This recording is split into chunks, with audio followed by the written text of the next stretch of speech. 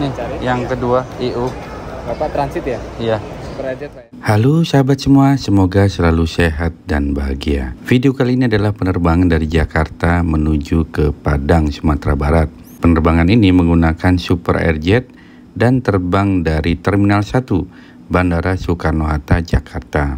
Jarak tempuh antara kedua kota ini adalah 950 km dan penerbangan biasanya memakan waktu 2 jam 15 menit. Tiket pesawat dari Jakarta menuju Padang ini dijual rata-rata 1 jutaan hingga 1,3 juta rupiah untuk satu kali perjalanan. Seperti biasa, setelah lapor, check-in online, kemudian bagi yang punya bagasi silakan meletakkan bagasi. Bagi yang tidak ada bagasi bisa langsung ke ruang tunggu dan naik ke pesawat udara. Maskapai Super Airjet ini menggunakan pesawat Airbus.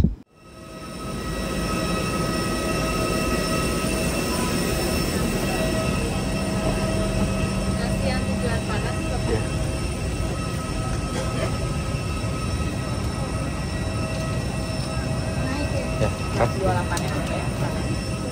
Ingat untuk tidak menukar tempat duduk kecuali meminta izin pada penumpang lain dan jika diizinkan silahkan saling bertukar tempat duduk atau meminta bantuan pramugari jika terpaksa harus bertukar tempat duduk. Tentu saja harus ada alasan khusus ya teman-teman kalau mau pindah tempat duduk.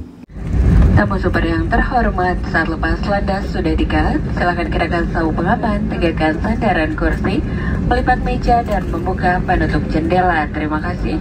Guests in preparation for takeoff, please fasten your seat belt and make sure your seat back is upright. The table is in the window, set is up. Thank you. Setelah lepas landas kita akan melihat panorama Jakarta yang sibuk dan padat dan perjalanan akan memasuki wilayah yang lebih terang dan lebih hijau ketika kita sampai di Sumatera Barat.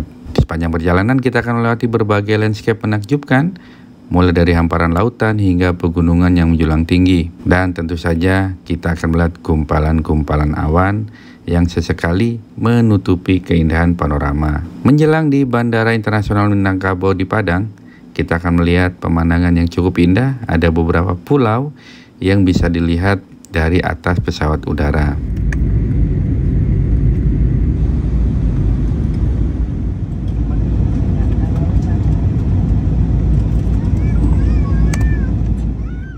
Padatnya kota Padang juga bisa kita lihat dari atas pesawat udara yang bersiap mendarat di Bandara Minangkabau. Pagadana Landing Station. Super terhormat mohon kerjasamanya untuk tetap duduk dan menggunakan sabuk pengaman. Terima kasih. Padang memang terkenal dengan keindahan pantai, tentu saja ditambah dengan kuliner yang lezat dan budaya yang cukup kaya. Dari sini kita bisa mengeksplorasi berbagai tempat wisata seperti Pantai Padang, Bukit Tinggi yang juga jaraknya tidak jauh, serta berbagai rumah adat Minangkabau yang menawan. Ingat salah satu daya tarik utama Padang adalah kulinernya. Masakan Padang terkenal dengan cita rasanya yang kuat dan kaya rempah seperti rendang, sate Padang, dan gulai. Ada juga tuh soto Padang. Ya.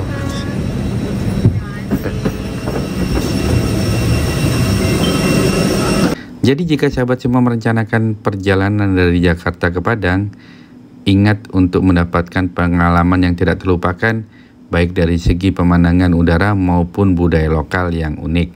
Dan tidak ketinggalan, wisata kulinernya harus dicoba semuanya. Hehe.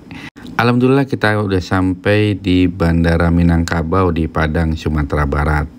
Dan bagi sahabat semua, silahkan mengikuti arahan dari petugas untuk keluar dari bandara. Penumpang akan turun ke lantai dasar atau lantai satu untuk mengambil bagasi dan selanjutnya keluar dari bandara Minangkabau ini. Pastikan bagasi yang diambil adalah bagasi milik Anda sendiri, cocokkan dengan label bagasi yang sudah diberikan. Karena ada banyak koper yang sama, bisa-bisa nanti tertukar dengan koper milik orang lain. Demikian video kali ini, mudah-mudahan bermanfaat. Ingat tekan tombol subscribe dan juga tekan loncengnya. Sampai jumpa. Salam sehat dan bahagia.